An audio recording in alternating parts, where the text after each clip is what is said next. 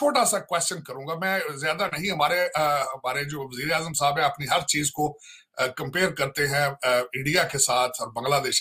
कभी जयशंकर के साथ भी कंपेयर करके देखें कभी उनकी फॉरेन मिनिस्ट्री के ऑपरेशन को भी करके देखें। बोला ना इस्लामोफोबिया। जी।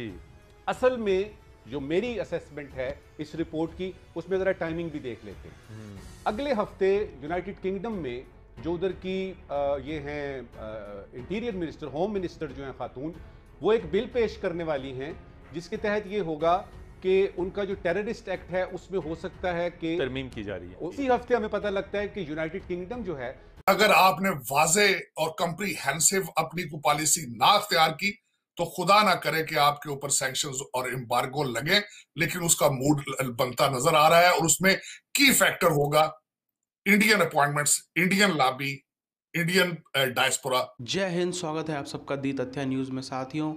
साजिद तरार ने इस चीज़ को साफ़ किया कि जो है वो पूरा माहौल बनता जा रहा है एक बार को, जो इमरान खान हर चीज़ से कंपेयर करता है। एक बार जयशंकर साहब से कंपेयर करे, जो कि सही बात भी है। कहाँ जयशंकर साहब और कहाँ इनका शाह महमूद कुरैशी? बहरहाल, बात यह है कि पूरी तरीके से माहौल बन रहा है, माहौल बन चुका है। पाकिस्तान को फाइनली सेंक्शन करने का, जिसमें इंडियन लॉबी वहाँ पे लगी हुई है और अमेरिका का खुद का भी यही स्टैंड है कि इनको जो है वो सेंक्शन करने की तरफ़ ले जाना चाहिए। अभी जो रिलीजियस फ्रीडम की सीपीसी की लिस्ट आई है उसमें भी जो है वो पाकिस्तान पे इसी तरीके से ब्लैक लिस्ट किया गया कि वहाँ पर जो है वो रिलीजियस फ्रीडम नहीं है। और एक और लिस्ट आई है, जिसमें जो कानून जुडिशल सिस्टम की आई है, उसमें भी वन थर्टी नंबर पे बहुत ही ज़्यादा नीचे है पाकिस्तान। इन सब चीज़ों की वजह से जो है इनको भी लगने लगा, गुरु, खेल अब जो है वो हाथ से निकल गया, पत्ता एकदम साफ़ होने ही वाला है। जो किसी भी दिन खबर आएगी कि पाकिस्तान को अमेरिका ने कर दिया सेंक्शन पूरी चीज़ क्या उधर पहले हम चलते है।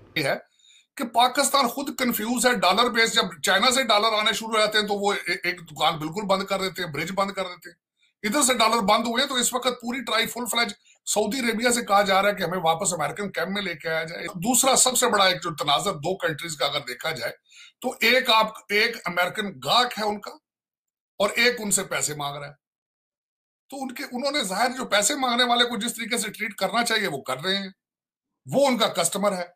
वो उनका पार्टनर है अगेंस्ट चाइना आपने हमेशा डबल गेम खेल खेल के अपना सारा जो सत्यानाश कर दिया अपने रिलेशनशिप का, उसमें ultimately you have to make the correction Pakistan को तालिबान के साथ में ला देना, हम उनकी मदद कर रहे हैं, जबकि इंडिया को इस लिस्ट से निकाल देना और कहना कि हालाँकि इंडिया के हवाले से उनको बहुत ज़्यादा जो रिकमेंडेशंस भी दी गई थी, लेकिन इसके बावजूद उन्होंने निकाल दिया। क्या आप समझते हैं ये अमेरिका असला खरीदने की वजह से इंडिया को ये प्रेफरेंशियल ट्रीटमेंट दिया जा रहा है और पाकिस्तान का क्योंकि अब वो स्टेक नहीं रहे तो पाकिस्तान को कॉन्टिन्यूसली पनिश किया जा रहा है। मैं इस तरह नहीं इस तरह, इसको मैं जिस तनाजर से देखता हूँ बल्कि आपको एक मैं मिसाल दूँगा इसकी कि मैं एक वाहिद आदमी हूँ जो पिछले क्योंकि 2016 से मेरा एक्सपोजर था to see how the Washington DC and how the Washington DC elite works तो उसमें मैं मुसलसल वार्न करता रहा हूँ पाकिस्तान को कि पाकिस्तान उसमें तरमी उस, उस, उसके तहत कुछ ऐसी एंटिटीज को जिसमें कि सुनने में आ रहा है कि पैलेस्टीन अथॉरिटी भी शामिल है हमास वगैरह हैं। जो सबसे पहले अगर हम बात करें रिलीजियस फ्रीडम की जैसे बात होती है कि पाकिस्तान में रिलीजियस फ्रीडम नहीं है तो आप एक चीज़ समझिए जब पाकिस्तान बना तो सबसे पहले इनके जो नारे होते थे अब जिन्ना से लेके सूझ भी लेके अब उन सबके आज भी वो स्टेटमेंट अवेलेबल है, आप देख सकते हैं। सबसे पहले इनके नारे होते थे कि हमें बचना है, हमको बचना है, ये हमको हिंदू इस देश में रहने नहीं देंगे, हमको डर लगता है उनसे। ऐसी बातें थी। तो आप समझ रहे जब तक एक आदमी होता है उस चीज़ में तो वो डरा हुआ होता है। जब डरपोकों की भीड़ खड़ी हो जाती है तो वो हिंसा करने लग जाती है। उनको फिर हर समय डर लगने लगता है कि यार ये कल को ना हो जाए, कल को ये लोग हमको ऐसा ना कर दें, परसों को ऐसा ना कर दें। आने वाले समय में ना हमको तबाह कर दें तो इस चक्कर में भीड़ जो है वो हिंसा का नाम ले लेती है, रूप ले लेती वही हमने देखी, यही कारण है जो 20-22 प्रतिशत की आबादी हुआ करती थी, कभी पाकिस्तान में हिंदुओं की, वो गिर के आज दो परसेंट भी नहीं है, एक परसेंट भी नहीं है, ये स्थिति हो गई। यही इनका डर जो था, डर ने वो हिंसा का रूप लिया, सबको पता है क्या हुआ, कैसे हुआ, वो कोई बताने की ज़रूरत नहीं है। बहरहाल, हम यहाँ पर बात करें, जो इंडियन डायस्पोरा है, हम एक चीज़ देखेंगे ना। इंडियन देखिए इंडियंस हर जगह पहुँचे हैं इंडियन हर जगह पे सफल हैं सक्सेसफुल हैं, वो बात बिल्कुल सब सही है। लेकिन एक हमारे इन सक्सेसफुल लोगों में, जैसे मान लीजिए सौ सौ परसेंट में कुछ पाँच, दस परसेंट लोग ऐसे भी हैं, जिनको जो है तो इंडियन जिनकी लॉयल्टी इंडिया के प्रति नहीं थी। नाइन्टी परसेंट की है, बिल्कुल है, उसमें कोई वो नहीं है, लेकिन पाँच, दस परसेंट की जो इंडियंस है, उसमें नहीं थी, वो अगर वहाँ चले गए, विदेश अमेरिका चले गए, ऑस्ट्रेलिया चले गए, यूरोप चले गए, कहीं चले गए तो वो फिर वहीं के हो जाते फिर वो इंडिया को पलट के गली देते हैं। ऐसे भी लोग हैं, इनको आप नकार नहीं सकते। पाँच दस परसेंट ऐसे हैं। लेकिन समय के साथ में कैसे बाकियों को यूज़ करना हो क्योंकि ये लोग पहले भी थे 2014 के पहले ये जो इंडियन डाइसफोरा की बात होती है इंडियन लॉबी की बात होती, क्या ये नहीं था?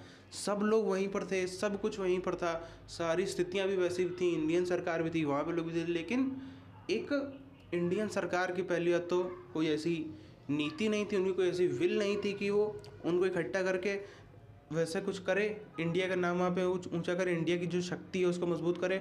और जब यहाँ से ऑर्डर नहीं आएँगे, जब सरकार भी कुछ मदद नहीं करेगी तो आम आदमी क्या ही कर सकता है? ये भी सीधी सी बात है। आम आदमी जो है वहाँ पे वो क्या करेगा बेचारा? ज़्यादा से ज़्यादा थोड़ा बहुत एक दूसरे के बात कर लेगा, देखा रिजेक्ट हो रहा है, सरकार ध्यान नहीं देती हटाओ फिर अपने डेली लाइफ में। बिज़ी रहो, यही चीज़ होती है।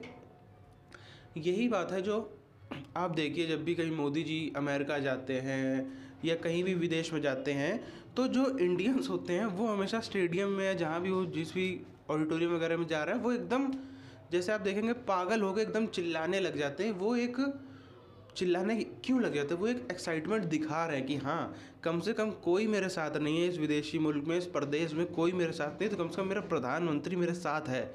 मेरे देश की फॉरेन मिनिस्ट्री कम से कम मेरे साथ काफ़ी हद तक खड़ी है। ये ये जो एक सेंस ऑफ़ प्राइड होता है ना, वो वही लोग समझ सकते हैं जो वहाँ पर रहे हों। जब आप देखते हैं ना कि यहाँ के बड़ी बड़ी बातें तो लोग बहुत कर देते हैं कि वहाँ, इतना अच्छा है, इतना सब कुछ। लेकिन जब वहाँ पर जाओ तो पता चलता है कैसे रेसिज्म का सामना करना करना पड़ता है, किस तरीके से वहाँ पर भेदभाव का सामना करना पड़ता है। तब अगर आपके देश का प्रधानमंत्री आपसे मिलने के लिए आ रहा है और उस देश का प्रधानमंत्री या राष्ट्रपति उसको, हमारे प्रधानमंत्री को लेने के लिए जा रहा है, इतना गर्मजोशी से स्वागत हो रहा है तो एक कॉन्फिडेंस आता है। आपकी बहरहाल क्या राय है? काफ़ी लंबी बात हो गई।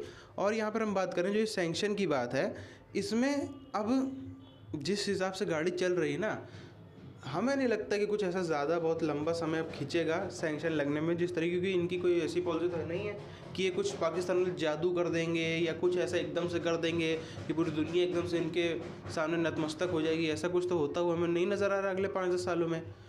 और पाँच दस साल तो बहुत लंबा समय सेक्शन तो बहुत ही जल्दी इसमें हो जाएगा। आपकी क्या राय है? आप नीचे कमेंट करके बताइए। मिलते हैं आप चैनल वीडियोज़ में, तब तक के लिए जय हिंद।